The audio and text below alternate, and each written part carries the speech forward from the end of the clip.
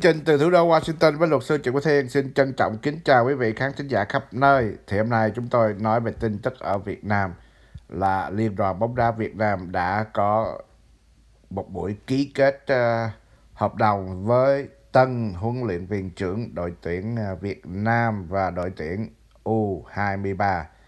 Đó là huấn luyện viên ờ, người Pháp uh, Philippe uh, Druzer.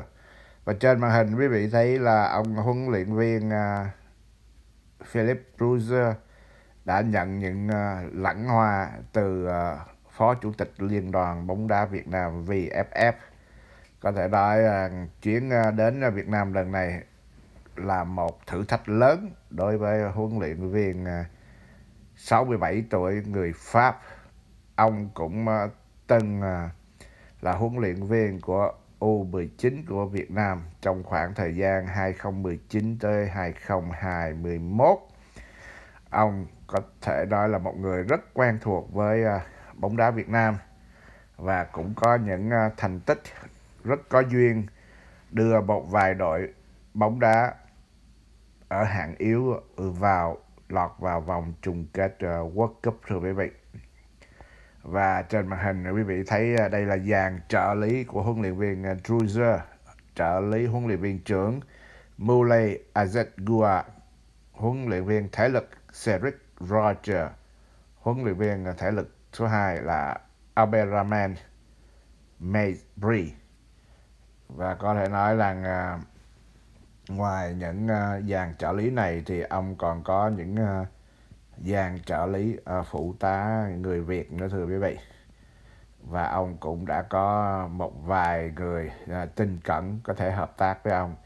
Thì ờ, việc ký kết sẽ diễn ra vào ngày 27 tháng 2 năm 2023 và hợp đồng bắt đầu từ ngày 1 tây tháng 3 2023 cho đến cuối tháng 7 2026.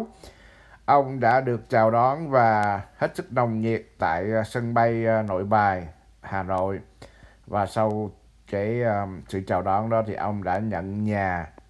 Công vụ có thể nói rằng à, đây là một ngôi villa khá đẹp ngay tại uh, Hà Nội và kề cận à, sân bóng. Ông có thể hàng ngày uh, tập luyện bóng đá cùng với các cầu thủ ờ, uh, U23 và đội tuyển Việt Nam vân vân. Thì uh, kỳ vọng của liên đoàn bóng đá VFF Việt Nam là Việt Nam sẽ tham dự và vô vòng chung kết của World Cup 2026 tại Mỹ và Canada và Mexico.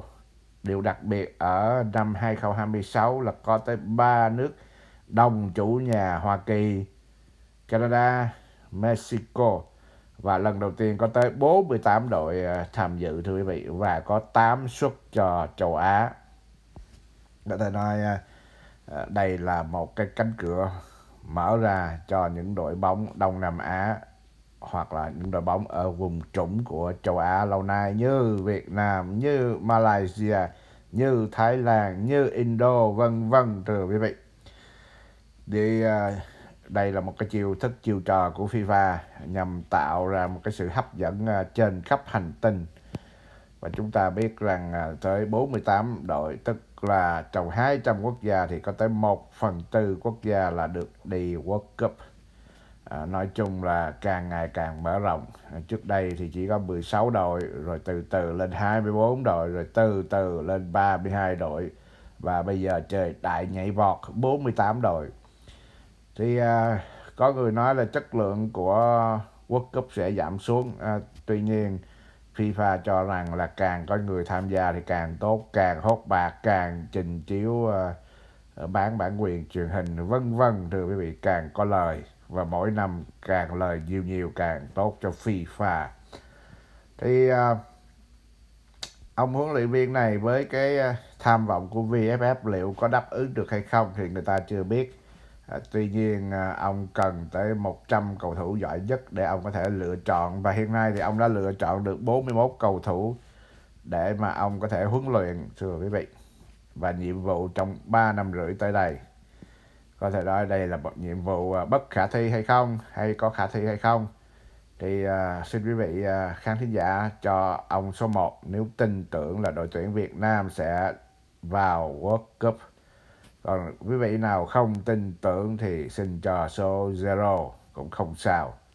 Chỉ có hai con đường một là vô hai là ở nhà coi tivi không có gì thắc mắc cả.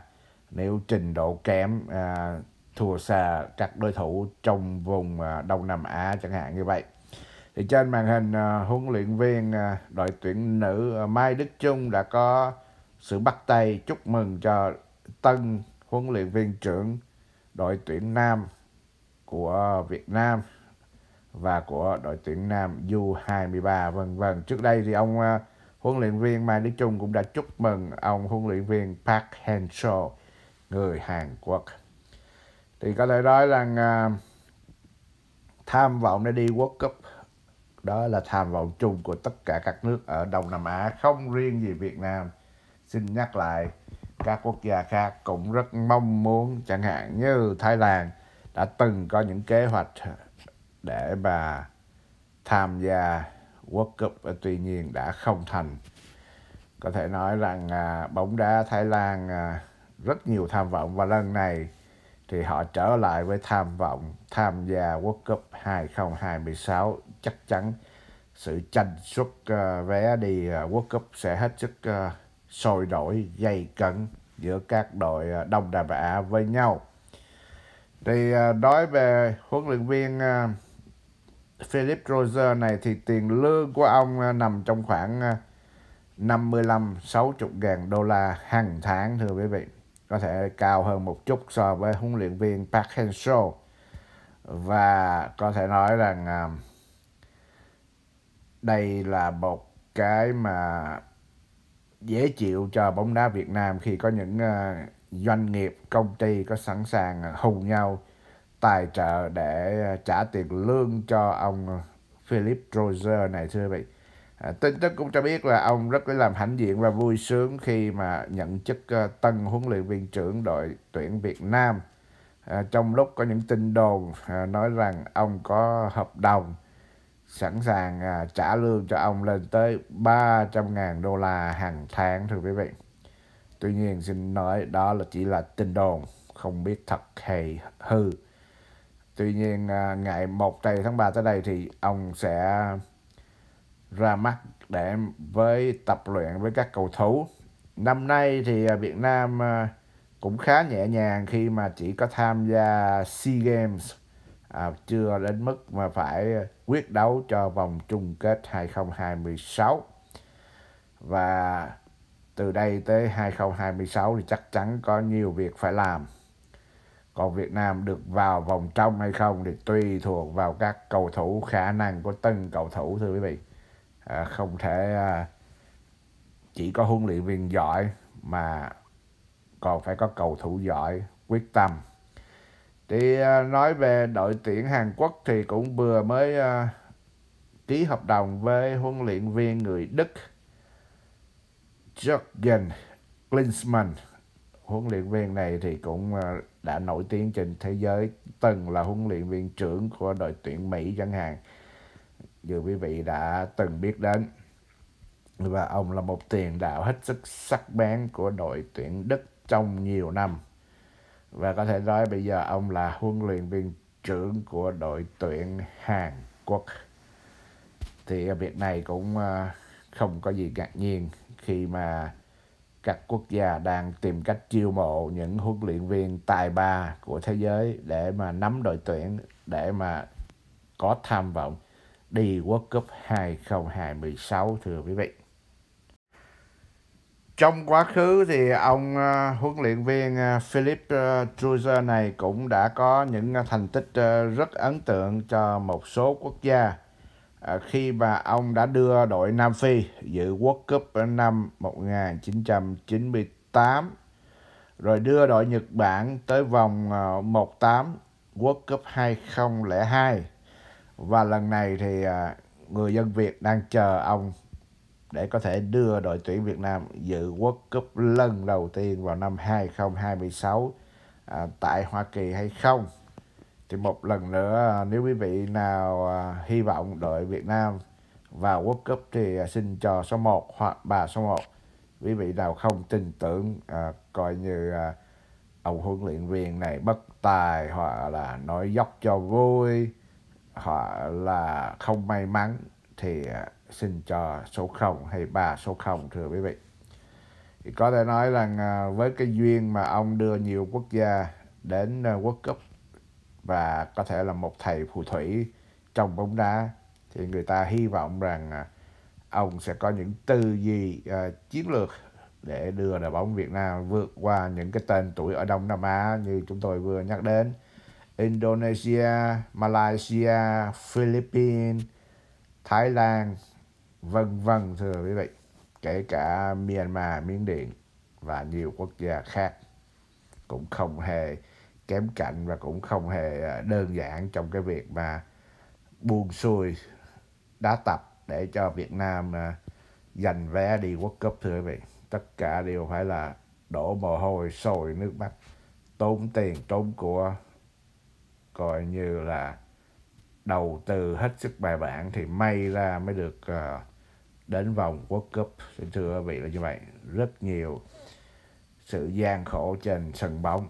Và hiện nay thì chúng ta đang có 41 cầu thủ đang tập trung để cho huấn luyện viên Philip ờ, uh, Truzer này có thể uh, tập rồi ờ, lập đội hình rồi kiểm tra thể lực kiểm tra sức khỏe kiểm tra kỹ năng kiểm tra tư duy chiến thuật chiến lược vân vân để ông có thể sắp xếp vào trong cái đội hình đội tuyển của ông mà ông ờ, có quyền ờ, tự chọn rất nhiều, thưa quý vị. Liên đoàn bóng đá Việt Nam sẽ không can thiệp vào công việc chuyên môn của ông trong những ngày tháng tới. Thì có thể nói huấn luyện viên ờ, 67 tuổi này đang có một cái sự thách thức rất lớn.